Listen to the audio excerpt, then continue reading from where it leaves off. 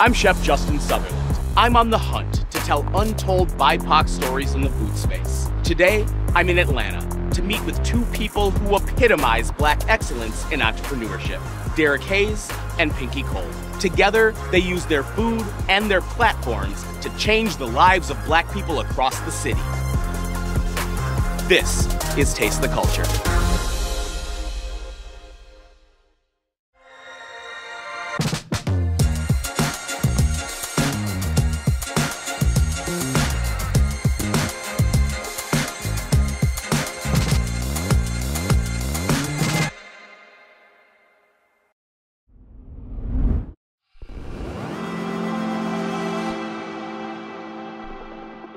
So I've had experiences myself when I walk into meetings and I sit at the table and they see a black kid with a multi-million dollar business, they think they could just tell me anything. Right.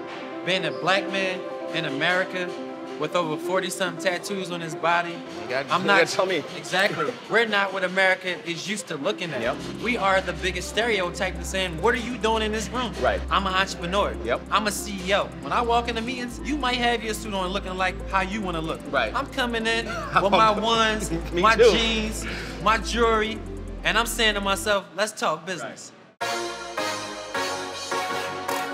There aren't many people who personify perseverance like Derrick Hayes, the owner of Big Dave's Cheesesteaks. Long days, long nights, and a drive to succeed that few can match has made Derrick's business among the most successful in Georgia. First of all, first of all, wow. I mean, I feel like your original location could have fit right here. Coulda, yeah, definitely. My ideal spot, the reason why I wanted to lo- go with a location that was bigger Yep. is because, for one, you got Georgia State that's across, and Right. we now in the inner city of Atlanta, where now I could pack the house. Yep. But COVID had a different color. You gonna show me where the magic is I'm made, about though? to walk you into where the magic happens. Okay. This is my famous, famous cheesesteak egg rolls. Okay. They got chicken and beef on the board. We hand roll those every day. People are crazy about those egg rolls. We go through about 10,000 pounds of grass-fed beef a week. And all of my cooks are geared up and trained to be able to handle any traffic that come their way. And from the outside world, it's like a fish tank. They can Yep, see it they all. can see all. You guys can be honest. Do you guys really like working for this guy? He's a good one. Love it. Love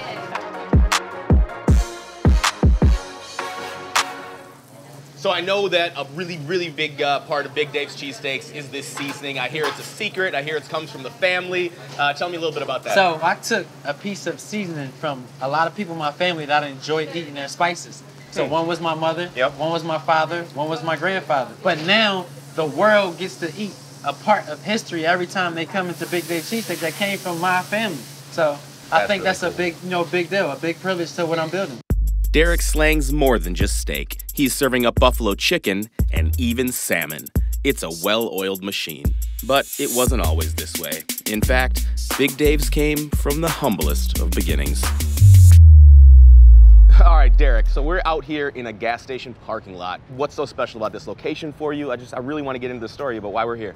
I was looking all over Atlanta for a location. Nobody want to rent me a space. Right. I literally had no traffic, didn't know the area. Mhm. We're about like maybe 25 minutes outside of Atlanta. Mhm. A lot of people said, nah, this ain't the location, this ain't the location. But I felt like this is the place where I need to start at. So let me show Yeah, you. let me see. Let me see why you felt that. Yeah, let me show you exactly what it is. So this door right here was all electric, of course. Yep. But we had so much traffic, we broke the motor in it. So our customers literally used to have to slide the door. That's not a bad problem to have. In 2014, I sat on this counter right here, and I took a picture just like this, right? Yeah. And I told the world, y'all gonna know who Derrick Hayes is. I used to be the cashier, I was the accountant, the fry cook, cooked on the grill. Do you think it was the struggle? I mean, what about this location do you think gave you, you know, the empire that you have now?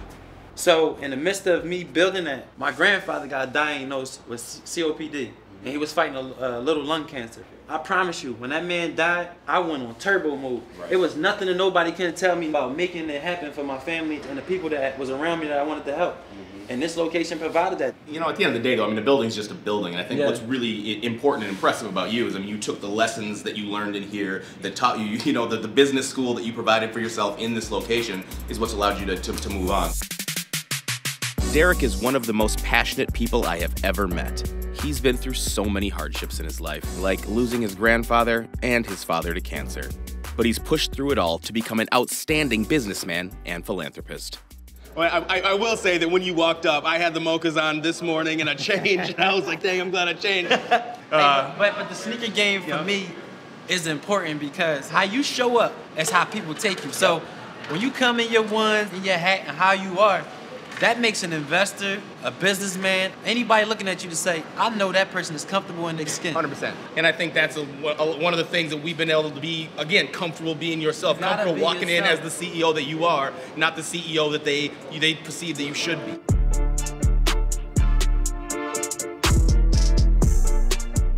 You're making cheesesteaks, you're making egg rolls, you're celebrating Philly, but what brought you from Philly to Atlanta? So when my father got sick with lung cancer, he couldn't get in a, a good cancer system in Philadelphia, so Okay. he went to Emory University. Yep. So that made me leave my job that I was working at the postal service, come down here and fight with him for six months. And when my dad, you know, eventually lost his life, Atlanta just felt like the place for me because it was a dreaming city. It was where you could make everything happen. Yep. It was the black mega capital, and I felt like this was my shot to come here and restart my life. And we talked about, you know, how Atlanta is just this hub of, of black excellence, black entrepreneurship, and you're now you're a big part of that. And man, you know what you just said was the blessing of it all because I didn't do this for that. You know, me caring about the communities and caring about people and caring about my staff and wanting to see people do better. Mm-hmm. Like for instance, I'm gonna make an example. When I started this location, none of my employees had benefits. Right. All of my employees have benefits. amazing. Now, me and another business owner from Slutty Vegan, Pinky Cole, we doing a life insurance initiative. Heard about that. Yeah, that we're now paying life insurance on 25,000 black men that make $30,000 less than income. And yeah, that's not an easy task. Right. But guess what? Me growing up in Philly, I've seen people get murdered. Mm-hmm. I've seen people get shot. I've seen mothers cry. It's sad to say this way. When you don't have life insurance or you don't have the finance spit in the ground, it becomes a debt. It's the trauma that I came from, but I'm embracing it because I'm able to help other people through my trauma in the right way. You know, getting to spend today with Derrick uh, was incredible and really very inspirational for me. Uh, It's amazing to see, you know, another black man doing what he's doing for his city, standing up for his family, his community. Uh, it's just been an overall amazing experience. Generosity, incredible passion. These qualities describe Derrick Hayes, but they also apply to the owner of another Atlanta food staple, the slutty vegan herself, Pinky Cole. Nobody knows more about building a foundation for success than Pinky.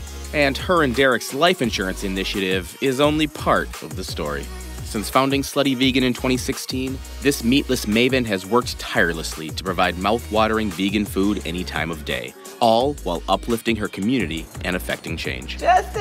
Pinky! How are you? What's up, girl? How are you? I'm doing very well. so good to see you. Good to see Welcome you. to the Slut House. Uh-oh. Welcome. Your crew is lit. There's nothing quite like a slutty vegan welcome. And by the way, they don't just turn up like that for me. Everybody who walks through the door gets the same treatment. Pinky has built her empire on big energy, provocative messaging, and of course, a good vegan burger. So I don't know if you've heard anything about Slutty Vegan, but Oh, we yeah. have these crazy names. Yep. We got the Sloppy Toppy, the Menage a Trois, the Fussy Hussy, Yeah. the One Night Stand, and the Hollywood Hooker, and a whole bunch of other items. So imagine something sweet, something spicy, something savory, and it feels good and it's guilt free, Yep. right? So you're not eating a dead animal. Right. And it's something that's a healthier option to the things that you eat on a day to day. But uh, America's favorite is the one night stand. So I want you to try that today. Okay, so can I have You're can I have a one night stand menage a trois together? Oh, you nasty? No, I'm. Now, the flair is next level, but I couldn't wait to get behind the line and learn more about the food that makes it all possible. All right, loved up. Let's go. Show me. So I have our lovely employees, AJ and Nikita, right here. AJ, Nikita, Justin, thank you for having me in your kitchen. So I just want you to grab some bacon. Vegan bacon. This is our vegan bacon. But wait, before you put that there, you gotta taste it. For me, like, the most incredible part of that is I still feel like I'm chewing through some fat. Like when you eat bacon, there's two different textures. You know, you have the meat, you have the fat, it kind of dissolves in your mouth. Yeah. this mimics this, I mean, damn near perfectly. Yeah. Oh, you're good. I'm gonna hire you. Grab your special sauce. Okay. Give me two circles. Yep. And now give me one circle. You are good. I'm so proud of oh, you. Oh, Look at, thank you, thank you, Cole. Yes. And there you go. You Wow. are now the manager at Slutty Vegan. I just made some vegan burgers. They look absolutely delicious. Pinky Cole might hire me. You might catch me in the A a little longer than you expected. Yes. How is that not beef? it's good, right? You know what's so incredible about this burger? There is no way that you couldn't tell me that that wasn't beef. You kind of get that creaminess from your from your secret slut sauce, a little spice, you get a little acidity, you get some tanginess from that. Uh, the jalapenos just put it to that next level, and it's absolutely delicious. And I'm having one more bite. Yes. Well, I'm sold. This woman is a vegan burger genius. It's easy to envision slutty vegan locations popping up all over the country, and Pinky is determined to make it happen. I feel this hip hop energy. I feel the culture. I feel you in this space. I'm wondering, like, why this location? I mean, this is an iconic Atlanta neighborhood, but why'd you want to put one here? So, if anybody knows anything about the Slutty Vegan story, I'm really intentional about where I put Slutty Vegan. So, I put them in food insecure areas, vegan insecure areas, and areas that aren't so very attractive to developers. I want to go into communities where you can put a black owned business as a staple in that area and rise that community up. Unhealthy ain't got no color. Right. right? Right. Like, there are people that are black, white, Asian, blue, yellow, it don't matter, Yep. that don't know about food. Yep. And I like to say that Slutty Vegan is the most beautiful form of silent protest Mm-hmm. because in the wake of George Floyd and everything that happened, we brought people together in the name of food. Yep. Nobody looks at color when they walk through the door. Right. Right? People look at like, how can I fellowship with somebody who thinks like me, talks like me, listens to the same music like me? And that is what makes us special. And some people may say, well, burgers and fries, but we all know that it's so much bigger It's so than much that. bigger than that. Bigger is right, and there's no better example of that than the work of the Pinky Cole Foundation. With some fresh vegan burgers and fries in hand, we headed over to the Foundation HQ to see some black girl magic in action. I see a little piece of that uh, that vegan bacon that I was blown away Yes. by. So I'm gonna start with that bite right there. Yes. You know what's so funny? I probably have eaten over a thousand sandwiches since mm-hmm. 2018, Oh, I bet. and it never gets old. So many things have happened in your life to give us the Pinky Cole that we have today. Can you tell me a little about your family, upbringing? Where, where did all this start? So, my mother and my father are Jamaican, and the day that I was born, my father was being sentenced to 22 years in prison. So I was getting the freedom, and he was losing his. Wow. And what it showed me is it showed me no matter what the circumstance, you can still rise above it. Mm-hmm. My father literally would call me for the 22 years that he was in jail. He would call me in prison, telling me to read books, telling me about stocks. So although he wasn't physically present, he was there, right? And then I watched my mother work multiple jobs every day, and it taught me how not to be lazy. So talk talk to me about the importance of building generational wealth, and also, I mean, to get there, that importance of breaking some generational patterns that a lot of times people get stuck in and don't allow them to achieve the greatness that we're all capable of, but you know, not always being ready. Yeah, the truth is this. Sometimes we get stuck in a space that, oh, they don't want us to win or they don't want us to get here. No, we're here. Yeah. And, here. and we and we've been, Been here, here. right? Now you just get to see it on this big screen, on this big platform, because I'm showing you what it looks like. And 100%. it don't involve money. No, it's up here. It's, up here. teaching your children about financial literacy. Because guess what? I'm not teaching just veganism. Yeah. What this is, is really building a foundation where people feel like they're safe personally and professionally. I mean, that speaks to that financial literacy that you're teaching and those life skills that, you know, a lot of people in our community don't have, especially in lower income neighborhoods and, and, and families and just generationally, those things aren't at the forefront of your mind because you're worried about how you're gonna put food on the table the next day. You're gonna worry about how you're gonna get to regular school, let alone college and all of those things. So I Mm-hmm. think it's incredible, the things that you've benefited from, you're able to take those and share those with your community. What we get to do is we make entrepreneurship cool. Right. Like entrepreneurship should never feel like a job. This Right. your dream. Yeah, being smart is cool. Being smart is cool. Right. Learning about credit is cool. cool. Financial literacy and life insurance is cool. So you and Derrick are clearly some of the biggest driving forces in food, in philanthropy, in entrepreneurship in the city of Atlanta. So wow, I would love to tell you all the things about his brand. I've never eaten his food because he don't sell anything that I can eat. However, um, I, I respect him for his willingness to like really give back to the community like I do. It was because of George Floyd. Yep. His windows got busted out.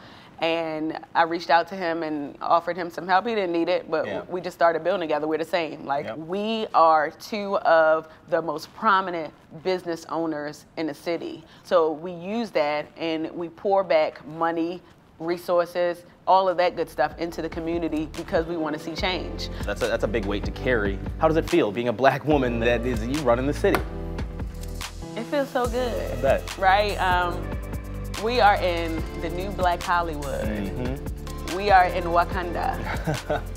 this is the place where you can be anything that you want to be. Yep. We got the best food in Atlanta, the biggest opportunities in music and television in Atlanta, the wealthiest black people in Atlanta, and the ideal essence of black excellence in Atlanta. Mm-hmm. So to be able to be at the top of the list, I'm not worthy, but I'm here. But you're here. and yes, and yes, you are. I, I am here and I don't take that for granted because I know how valuable the city is to the world. So to be able to be at the forefront of that in such a rich city, it feels good.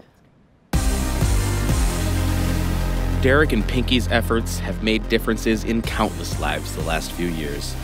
You get a sense that they would have been successful no matter what industry they chose. I'm just fortunate they chose food. Witnessing their passion and hearing their stories reminds me of everything I love about Atlanta. It's a place where black people are pushing the city forward and making it a better place for everyone. With people like Pinky and Derrick leading the way, I don't see that stopping anytime soon.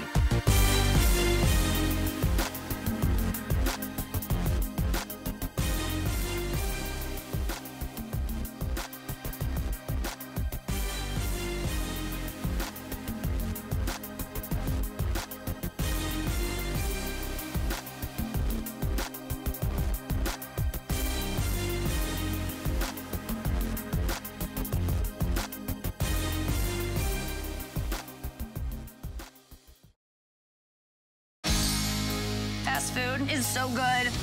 You guys ready to do this again? Let's do it! Bring out my dish. Shake Shack. This is great. Our first round is the copycat round. The three of us are gonna remake that fast food. That is McDonald's. And there's the remix round, where we reimagine fast food in our own creative ways. I didn't think this was possible. My remix of the Wendy's Baconator is pancetta served over U10 diver scallops. Wow. It's a taste bomb that goes off in your mouth. I'm a vegan, okay? Oh no. Hell yeah! I would pay a thousand dollars for this. I love cooking. Look how gooey that is. It's about 50% dough and 50% cheese. Just like me. Fast Foodies. New season premieres January 27th on truTV.